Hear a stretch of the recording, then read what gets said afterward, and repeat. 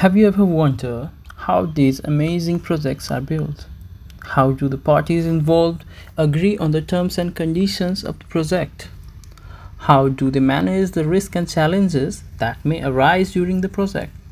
Well, one of the most widely used tools in international construction and engineering industry is the FIDIC contracts. FIDIC stands for International Federation of Consulting Engineers, a federation that produces standard forms of contract for different types of the projects and parties.